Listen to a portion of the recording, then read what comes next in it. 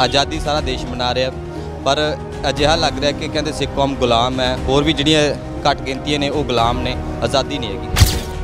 ਆਜ਼ਾਦੀ ਦਾ ਜਸ਼ਨ ਸਾਰਾ ਦੇਸ਼ ਮਨਾ ਰਿਹਾ ਤੇ ਮੈਨੂੰ ਅੱਜ ਉਸ ਆਜ਼ਾਦੀ ਦੇ ਜਸ਼ਨਾਂ ਨਾਲੋਂ ਆਪਣੀ ਕੌਮ ਦਾ ਦਰਦ ਵੱਡਾ ਜਾਪਿਆ ਜਿਹੜੀਆਂ ਕਹਿੰਦੇ ਘੱਟ ਗਿਣਤੀ ਦੀਆਂ ਕੌਮਾਂ ਮੈਂ ਨਹੀਂ ਕਹਿੰਦਾ ਸਾਡੀ ਸਿੱਖ ਕੌਮ ਹੀ।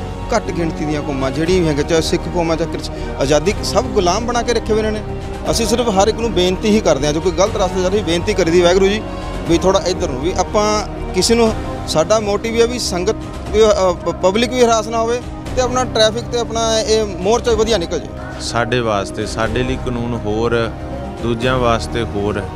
ਤੇ ਇਸ ਕਾਰਨ ਕਰਕੇ ਹੀ ਅਸੀਂ ਆਪਣਾ ਕਾਨੂੰਨ ਦੇ ਦੋਹਰੇ ਮਾਪਦੰਡਾਂ ਦੇ ਖਿਲਾਫ ਅੱਜ ਦਾ ਰੋਸ ਮਾਰਚ ਜਿਹੜਾ ਉਹ ਕਰ ਰਹੇ ਹਾਂ।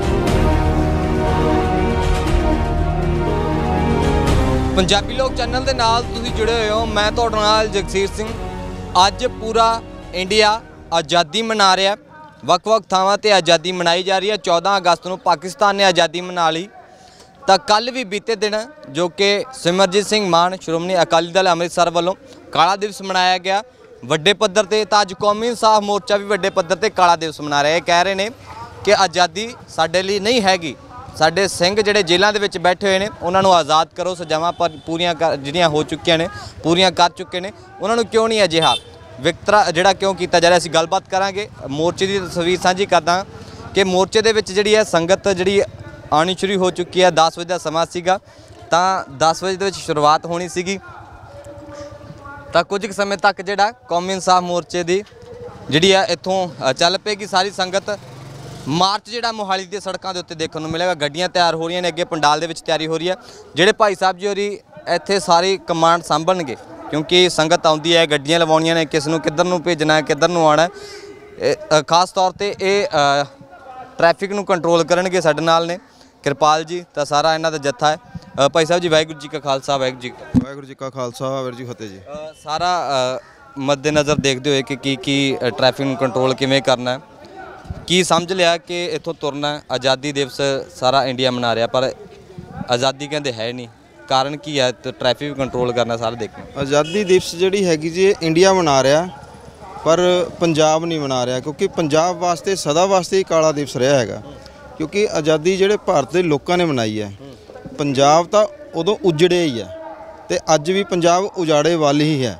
ਇਹ ਨਹੀਂ ਵੀ ਪੰਜਾਬ ਪੰਜਾਬ ਨੂੰ ਪੰਜਾਬੀ ਕਹਿੰਦੇ ਨੇ ਅਸੀਂ ਹੱਸਦਾ ਵਸਦਾ ਕਰਾਂਗੇ, ਪਰ ਜਿਹੜੀਆਂ ਸਰਕਾਰਾਂ ਇਹ ਉਜਾੜੇ ਵੱਲ ਲੈ ਕੇ ਜਾ ਰਹੀਆਂ, ਬਾਕੀ ਰਹੀ ਕੌਮੀ ਇਨਸਾਫ ਮੋਰਚੇ ਦੀ ਗੱਲ, ਸਭ ਤੋਂ ਵੱਡਾ ਦੁਖਾਂਤ ਇਹੀ ਹੈ ਕਿ ਜਿਹੜੇ ਸਾਡੇ ਬੰਦੀ ਸਿੰਘ ਨੇ 14 14 ਸਾਲ ਦੀ ਸਜ਼ਾਵਾਂ ਹੁੰਦੀਆਂ ਨੇ, ਵੱਧ ਤੋਂ ਵੱਧ, ਤੇ 32 32 ਸਾਲ ਦੇ ਜੇਲ੍ਹਾਂ 'ਚ ਬੈਠੇ ਨੇ ਜਦ ਕਿ ਉਹਨਾਂ ਤੇ ਹਾਲੇ ਤੱਕ ਕੋਈ ਕੇਸ ਵੀ ਦਾਇਰ ਨਹੀਂ ਹੈ ਕੁਝ ਨਹੀਂ ਹੈ, ਫਿਰ ਵੀ ਉਹਨਾਂ ਨੂੰ ਸਰਕਾਰ ਨਹੀਂ ਛੱਡ ਰਹੀ, ਕਿਉਂ ਨਹੀਂ ਛੱਡ ਰਹੀ, ਇਹਦੇ ਵਾਸਤੇ ਅੱਜ ਅਸੀਂ ਰੋਸ ਮਾਰਚ 15 ਤਰੀਕ ਨੂੰ ਕੱਢ ਰਹੇ ਹਾਂ, ਇੱਥੋਂ ਅਸੀਂ ਚੰਡੀਗੜ੍ਹ ਬੈਰੀਅਰ ਤੋਂ ਲੈ ਕੇ ਅੱਗੇ ਇਹਨਾਂ ਨੇ ਰੂਟ ਬਣਾਇਆ, ਉਹ ਰੂਟ ਤੇ ਅਸੀਂ ਸਾਰਾ ਟ੍ਰੈਫਿਕ ਕੰਟਰੋਲ ਕਰਾਂਗੇ ਤੇ ਸਾਡੇ ਵੱਲੋਂ ਮਤਲਬ ਕਿ ਸਖਤ ਸਰਕਾਰਾਂ ਦੀ ਤੇ ਚੰਡੀਗੜ੍ਹ ਐਡਮਿਸ਼ਨ ਦੀ ਸਖਤ ਨਕੇਦੀ ਕੀਤੀ ਜਾਂਦੀ ਨੇ ਸ਼ਬਦਾਂ 'ਚ ਕਾਰਨ ਕੀ ਮੰਨਦੇ ਹੋ?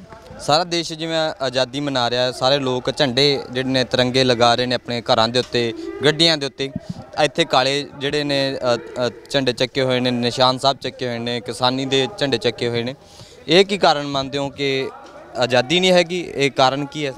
ਬਿਲਕੁਲ, ਦੇਖੋ, ਜਿਹੜੀਆਂ ਕਹਿੰਦੇ ਘੱਟ ਗਿਣਤੀ ਦੀਆਂ ਕੌਮਾਂ, ਮੈਂ ਨਹੀਂ ਕਹਿੰਦਾ ਸਾਡੀ ਸਿੱਖ ਕੌਮ ਹੀ, ਘੱਟ ਗਿਣਤੀ ਦੀਆਂ ਕੌਮਾਂ, ਜਿਹੜੀਆਂ ਵੀ ਹੈਗੇ, ਚਾਹੇ ਸਿੱਖ ਕੌਮਾਂ ਚਾਹੇ ਆਜ਼ਾਦੀ ਸਭ ਗੁਲਾਮ ਬਣਾ ਕੇ ਰੱਖੇ ਹੋਏ ਇਹਨਾਂ। ਨੇ ਪੰਜਾਬ ਨੂੰ ਗੁਲਾਮ ਬਣਾਉਣ ਦੀ ਕੋਸ਼ਿਸ਼ ਕੀਤੀ ਜਾ ਰਹੀ, ਬਣਾਉਣ ਦੀ ਕੀ ਇਹਨਾਂ ਨੇ ਬਣਾ ਕੇ ਹੀ ਰੱਖਿਆ ਹੋਇਆ, ਸਰਕਾਰਾਂ ਨੇ ਬਣਾ ਕੇ ਰੱਖਿਆ ਵੀ ਜੋ ਅਸੀਂ, ਪਰ ਪੰਜਾਬ ਹਮੇਸ਼ਾ ਤੋਂ ਆਜ਼ਾਦ ਰਿਹਾ ਤੇ ਆਜ਼ਾਦ ਰਹੂਗਾ ਤੇ ਆਪਣੀ ਲੱਗ ਆਜ਼ਾਦੀ ਲੈ ਕੇ ਰਹੂਗਾ ਇਹ। ਜੀ। ਕਿਵੇਂ ਟ੍ਰੈਫਿਕ ਕੰਟਰੋਲ ਕਰਨਾ? ਵਰਦੀਆਂ ਤੁਹਾਡੀਆਂ ਆਪਣੀਆਂ ਵੀ ਨੇ। ਉੱਤੇ ਕੌਮੀ ਇਨਸਾਫ ਮੋਰਚਾ ਦੀ ਵੀ ਜਿਹੜੀ ਜੈਕਟ ਪਾ ਲਈ ਹੈ। ਤਾਂ ਕਿਵੇਂ ਕੰਟਰੋਲ ਕਰਨਾ ਉੱਤਰ ਜਾ ਕੇ ਹਰ ਇੱਕ ਨੂੰ? ਕਿਉਂਕਿ ਆਮ ਤੌਰ ਤੇ ਤੁਸੀਂ ਜਿੰਨੇ ਵੀ ਨਗਰ ਕੀਰਤਨ ਹੁੰਦੇ ਹੋ ਹੋਰ ਕਿੰਨੇ ਧਾਰਮਿਕ ਕਿਸੇ ਵੀ ਧਰਮ ਦਾ ਪ੍ਰੋਗਰਾਮ ਹੁੰਦਾ ਤੁਸੀਂ ਸਾਰਾ ਕੰਟਰੋਲ ਕਰਦੇ ਹੋ। ਹਾਂਜੀ ਹਾਂਜੀ। ਗੱਲ ਇਦਾਂ ਹੁੰਦੀ ਜੀ ਕਰਵਾਉਣੇ ਵਾਲਾ ਤਾਂ ਗੁਰੂ ਮਹਾਰਾਜ ਨੇ। ਅਸੀਂ ਤਾਂ ਇੱਕ ਟੀਮ ਵਰਕ ਕਰਨਾ। ਮਤਲਬ ਕਿ ਇੱਕ ਸਾਡਾ ਟੀਮ ਵਰਕ ਆ 13 ਤੋਂ ਅਸੀਂ ਸੋਸਾਇਟੀ ਚਲਾ ਰਹੇ ਹਾਂ ਤੇ ਇੱਕ ਸਾਡੀ ਆਪਣੀ ਅੰਡਰਸਟੈਂਡਿੰਗ ਬਾਕੀ ਸੰਗਤ ਨੂੰ ਮੋਸਟਲੀ ਸਾਡੇ ਬਾਰੇ ਪਤਾ ਹੈ। ਅਸੀਂ ਸਿਰਫ ਹਰ ਇੱਕ ਨੂੰ ਬੇਨਤੀ ਹੀ ਕਰਦੇ ਹਾਂ, ਜੋ ਕੋਈ ਗਲਤ ਰਸਤੇ ਜਾ ਰਹੀ, ਬੇਨਤੀ ਕਰੀਦੀ ਵਾਹਿਗੁਰੂ ਜੀ, ਵੀ ਥੋੜਾ ਇੱਧਰ ਨੂੰ, ਵੀ ਆਪਾਂ ਕਿਸੇ ਨੂੰ, ਸਾਡਾ ਮੋਟਿਵ ਇਹ ਆ ਵੀ ਸੰਗਤ ਪਬਲਿਕ ਵੀ ਹਰਾਸ ਨਾ ਹੋਵੇ ਤੇ ਆਪਣਾ ਟ੍ਰੈਫਿਕ ਤੇ ਆਪਣਾ ਇਹ ਮੋਰਚਾ ਵਧੀਆ ਨਿਕਲ ਜੇ। ਹਾਂਜੀ। ਬਹੁਤ ਸ਼ੁਕਰੀਆ ਕਿਰਪਾਲ ਸਿੰਘ ਜੀ ਸਾਡੇ ਨਾਲ ਸੀ ਸਮੂਹ ਇਹਨਾਂ ਦਾ ਸਾਰਾ ਜੱਥਾ ਹੈ। ਤਾਂ ਇਹਨਾਂ ਦੀ ਤਿਆਰੀ ਪੂਰੀ ਹੋ ਚੁੱਕੀ ਹੈ, ਅਸੀਂ ਅੱਗੇ ਵੀ ਤੁਹਾਡੇ ਨਾਲ ਤਸਵੀਰ ਸਾਂਝੀ ਕਰਦੇ ਹਾਂ। ਕਿ ਕੌਮੀ ਇਨਸਾਫ ਮੋਰਚਾ ਦੇ ਵਿੱਚ ਜਿਸ ਤਰੀਕੇ ਦੀ ਤਿਆਰੀ ਹੋ ਚੁੱਕੀ ਹੈ, ਜਿਸ ਦੇ ਵਿੱਚ ਸੰਗਤਾਂ ਦੂਰ ਦਰਾਡੇ ਤੋਂ ਪਹੁੰਚ ਰਹੇ ਨੇ, ਹੱਥਾਂ ਦੇ ਵਿੱਚ ਕ- ਕਾਲੇ ਝੰਡੇ ਨੇ, ਜਿਨ੍ਹਾਂ ਦੇ ਉੱਤੇ ਰੋਸ ਲਿਖਿਆ ਹੋਇਆ। ਦੂਰ ਦੂਰ ਤੋਂ ਬਜ਼ੁਰਗ ਜਿਹੜੇ ਨੇ ਇੱਥੇ ਪਹੁੰਚ ਰਹੇ ਨੇ, ਬਲਜੀਤ ਸਿੰਘ ਦਾਦੂਵਾਲ ਜਿਹੜੇ ਨੇ, ਉਹ ਵੀ ਪਹੁੰਚੇ ਨੇ। ਤੁਹਾਨੂੰ ਜਿਹੜੀ ਸਾਰੀ ਤਸਵੀਰ ਹੈ, ਉਹ ਸਾਂਝੀ ਇੱਕ ਵਾਰੀ ਕਰ ਦਵਾਂ, ਕਿਉਂਕਿ ਕੁਝ ਕੁ ਸਮੇਂ ਤੱਕ ਇੱਥੋਂ ਜਿਹੜਾ ਇਹ ਮੋਰਚਾ ਚੱਲ ਪਏਗਾ। ਮਾਰਚ ਕਰਦੇ ਹੋਏ ਅੱਗੇ ਵੱਲ ਜਾਣਗੇ। ਤਾਂ ਰੋਡ ਮੈਪ ਜਿਹੜਾ ਹੈ ਇੱਥੋਂ ਤੁਰਨਾ ਹੈ। ਇਸ ਥਾਂ ਤੋਂ ਤੁਰਨ ਤੋਂ ਉਪਰੰਤ ਅੱਗੇ ਵੱਲ ਜਿਹੜਾ ਹੈ ਅ, 52 53 ਦੀਆਂ ਲਾਈਟਾਂ ਲੰਘ ਕੇ ਦੋ ਫੇਸ ਪੈਟਰੋਲ ਪੰਪ ਹਨੂਮਾਨ ਮੰਦਿਰ ਮਦਨਪੁਰਾ ਚੌਂਕ 3B2 ਤੋਂ ਸਿੱਧਾ ਸੁਹਾਣਾ ਸਿੰਘ ਸ਼ਹੀਦਾਂ। ਤਾਂ ਇਹ ਰੋਡ ਮੈਪ ਹੈ ਤੇ ਤਿਆਰੀ ਜਿਹੜੀ ਹੈ ਪੂਰੀ ਕੀਤੀ ਹੈ ਭਾਈ ਬਲਜੀਤ ਸਿੰਘ ਦਾਦੂਵਾਲ ਵੀ ਬੈਠੇ ਹੋਏ ਨੇ। ਤਾਂ ਸਮੂਹ ਸਾਰੇ ਇੱਥੇ ਗੱਲਬਾਤ ਕਰ ਰਹੇ ਨੇ ਕਿਉਂਕਿ ਇੱਥੋਂ ਤਿਆਰੀ ਕਰਕੇ ਅੱਗੇ ਵਾਲੇ ਵੀ ਜਾਏ ਜਾਣਗੇ। ਤਾਂ ਸਾਰਾ ਜਥੇ ਬੈਠੇ ਨੇ ਕਿਸਾਨ ਵੀ ਕਿਸਾਨ ਪਹੁੰਚੇ ਹੋਏ ਨੇ। ਹਰ ਇੱਕ ਜਥੇਬੰਦੀ ਜਿਹੜੀ ਹੈ ਇੱਥੇ ਪਹੁੰਚੀ ਅਸੀਂ ਗੱਲਬਾਤ ਕਰਨ ਦੀ ਵੀ ਕੋਸ਼ਿਸ਼ ਕਰਾਂਗੇ ਭਾਈ ਸਾਹਿਬ ਜੀ ਹਰਾਂ ਨਾਲ। ਭਾਈ ਸਾਹਿਬ ਜੀ ਵਾਹਿਗੁਰੂ ਜੀ ਕਾ ਖਾਲਸਾ ਵਾਹਿਗੁਰੂ ਜੀ ਵਾਹਿਗੁਰੂ ਖਾਲਸਾ ਵਾਹਿਗੁਰੂ ਜੀ ਫਤਿਹ ਜੀ। ਅੱਜ ਦੀ ਤਿਆਰੀ ਕਿਸ ਤਰ੍ਹਾਂ ਦੀ ਹੈ? ਆਜ਼ਾਦੀ ਸਾਰਾ ਦੇਸ਼ ਮਨਾ ਰਿਹਾ। ਪਰ ਅਜਿਹਾ ਲੱਗ ਰਿਹਾ ਕਿ ਕਹਿੰਦੇ ਸਿੱਖ ਕੌਮ ਗੁਲਾਮ ਹੈ। ਹੋਰ ਵੀ ਜਿਹੜੀਆਂ ਘੱਟ ਗਿਣਤੀਆਂ ਨੇ ਉਹ ਗੁਲਾਮ ਨੇ। ਆਜ਼ਾਦੀ ਨਹੀਂ ਹੈਗੀ। ਦੇਖੋ, ਭਾਰਤ ਦੀ ਆਜ਼ਾਦੀ ਵਾਸਤੇ ਸਭ ਤੋਂ ਵੱਡਾ ਯੋਗਦਾਨ ਅਸੀਂ ਸਿੱਖਾਂ ਨੇ ਪਾਇਆ, ਸਭ ਤੋਂ ਵੱਧ ਨੁਕਸਾਨ ਝੱਲਿਆ, ਤਬਾਹੀ ਝੱਲੀ। ਅੱਜ ਆਜ਼ਾਦੀ ਦਾ ਜਸ਼ਨ ਸਾਰਾ ਦੇਸ਼ ਮਨਾ ਰਿਹਾ ਤੇ ਮੈਨੂੰ ਅੱਜ ਉਸ ਆਜ਼ਾਦੀ ਦੇ ਜਸ਼ਨਾਂ ਨਾਲੋਂ ਆਪਣੀ ਕੌਮ ਦਾ ਦਰਦ ਵੱਡਾ ਜਾਪਿਆ ਕਿ ਸਾਡੀ ਕੌਮ ਦਾ ਜਿਹੜਾ ਦਰਦ ਆ, ਉਹ ਖੁਸ਼ੀਆਂ ਦੇ ਨਾਲੋਂ ਦਰਦ ਵੱਡਾ ਆ। ਇਸ ਕਾਰਨ ਕਰਕੇ ਅੱਜ ਉਸ ਦਰਦ ਨੂੰ ਲੈ ਕੇ ਜਿਹੜਾ ਰੋਸ ਮਾਰਚ ਇਥੋਂ ਮੋਹਾਲੀ ਕੌਮੀ ਇਨਸਾਫ ਮੋਰਚੇ ਤੋਂ ਹੋ ਰਿਹਾ।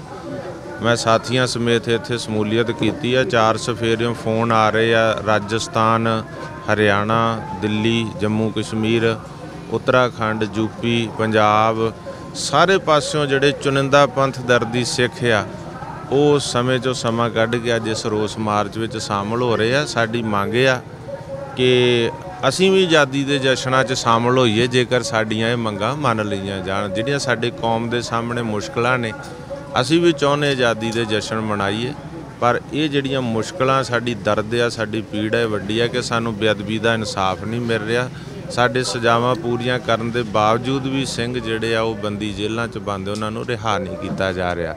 ਉਹਨਾਂ ਦੀ ਰਿਹਾਈ ਵਾਸਤੇ, ਬੇਅਦਬੀ ਦੇ ਇਨਸਾਫ ਵਾਸਤੇ, ਆਪਣੀ ਮੰਗ ਸਰਕਾਰ ਦੇ ਕੰਨਾਂ ਤੱਕ ਪਹੁੰਚਾਉਣ ਵਾਸਤੇ ਅੱਜ ਦਾ ਇਹ ਜਿਹੜਾ ਦੋਣਿਆ ਕੌਮੀ ਇਨਸਾਫ ਮੋਰਚੇ ਵੱਲੋਂ ਚੁਣਿਆ ਗਿਆ।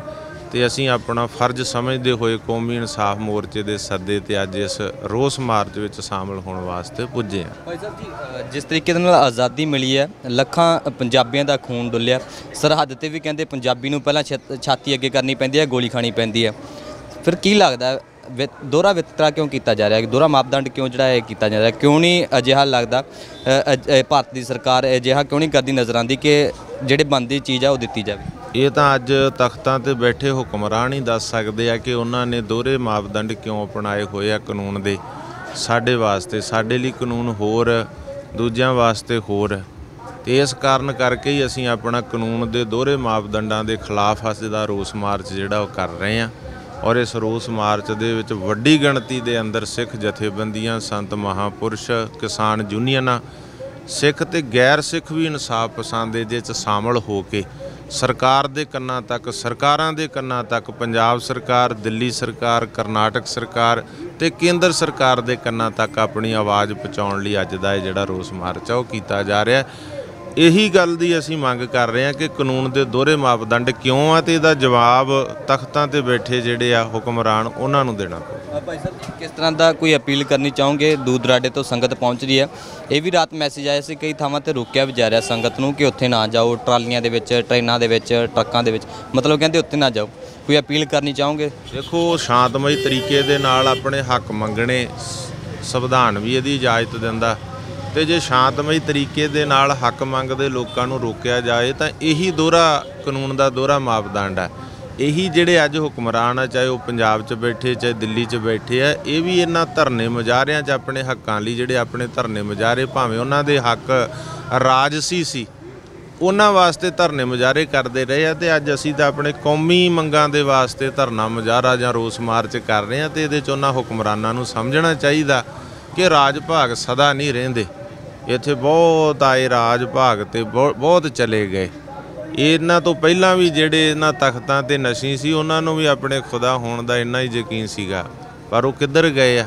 ਸੋ ਇਸ ਕਾਰਨ ਕਰਕੇ ਇਹਨਾਂ ਲੋਕਾਂ ਨੂੰ ਸਮਝਣਾ ਚਾਹੀਦਾ ਕਿ ਲੋਕਾਂ ਨਾਲ ਪਬਲਿਕ ਨਾਲ, ਸਮੂਹ ਧਰਮਾਂ ਦੇ ਲੋਕਾਂ ਨਾਲ ਇਨਸਾਫ ਕਰਨਾ ਚਾਹੀਦਾ, ਬੇਇਨਸਾਫੀ ਨਹੀਂ ਕਰਨੀ ਚਾਹੀਦੀ ਤੇ ਉਸ ਬੇਇਨਸਾਫੀ ਦੇ ਖਿਲਾਫ ਆਵਾਜ਼ ਬੁਲੰਦ ਕਰਨ ਵਾਸਤੇ ਅੱਜ ਇੱਥੇ ਵੱਡੀ ਗਿਣਤੀ ਦੇ ਵਿੱਚ ਸੰਗਤਾਂ ਜਿਹੜੀਆਂ ਨੇ ਪੁੱਜ ਰਹੀਆਂ ਨੇ। ਭਾਈ ਬਲਜੀਤ ਸਿੰਘ ਦਾਦੂਵਾਲ ਸਾਡੇ ਨਾਲ ਸੀਗੇ ਤਾਂ ਹੋਰ ਕਿਸਾਨ ਜਥੇਬੰਦੀਆਂ, ਵੱਖ-ਵੱਖ ਜਥੇਬੰਦੀਆਂ ਤੋਂ ਇੱਥੇ ਜਿਹੜੇ ਸੰਗਤ ਜਿਹੜੀ ਪਹੁੰਚ ਰਹੀ ਹੈ।